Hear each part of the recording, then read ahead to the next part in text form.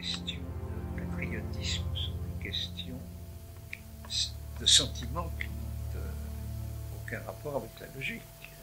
Il y a une chose, une des choses les plus extraordinaires qu'a dit De Gaulle, c'était peut-être fin 40, quelque chose comme ça.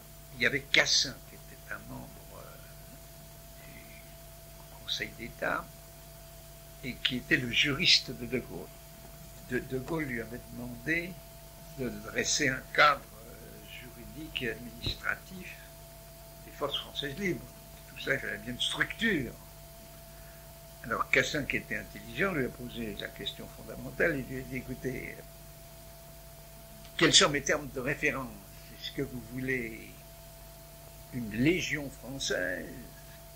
Ou est-ce que vous voulez autre chose? Et De Gaulle, qui avait quelques milliers de partisans, pas plus, un sou, etc., etc., qui avait un bureau comme ça à Carlton Gardens, lui a répondu Nous sommes la France. Il se sentait la France, ce qui était. Et finalement, l'événement lui a donné raison, ce qui est une des choses les plus, extraordinaires qu'on puisse voir. Parce qu'il n'était rien du tout. Euh, mais il était la.